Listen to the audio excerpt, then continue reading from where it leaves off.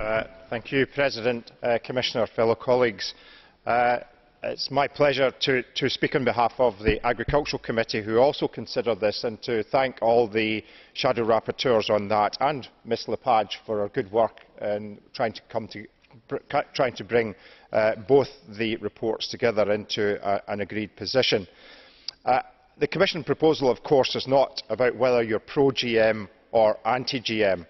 the legislation will give member states for the very first time a proper legal base to ban cultivation of gm crops. it will give them the power to do so and uh, from the commission's point of view it hopes it will free up the stalemate in the current authorisation process and hopefully bring to an end member states' illegal use of safeguard clauses to introduce bans on gm cultivations which the european court of justice of course have found against on a number of occasions the agricultural committee's approach to this was to rather reluctantly support uh, the commission's proposal but with a number of safeguards. we wanted to reinforce the view that the principle of proportionality be taken into account when member states think about introducing a ban on gm cultivation. we also believed and insisted that the freedom of choice of consumers and farmers be taken into account as well by, me by member states considering a ban and at no time was any legal advice given to us that that would be at odds with the legal basis we were working on. Uh, we also insisted that farmers and growers must be given proper notice of a ban to give them time to adapt if any member state decided to introduce a ban in either its region or across the whole of its territory. And we also insisted that member states introduce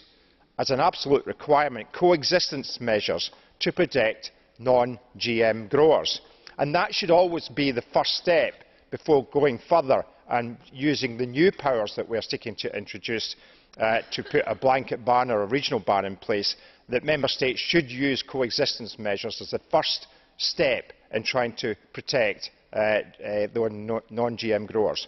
finally we agreed member states could use wider environmental grounds to introduce a ban provided and this is very important they did not undermine the current eu wide authorisation process. it must be distinct the environmental uh, grounds that they use for introducing a ban otherwise we threaten to undermine eu authorisation process which i think is very, very important. i hope we can make progress, progress on this issue.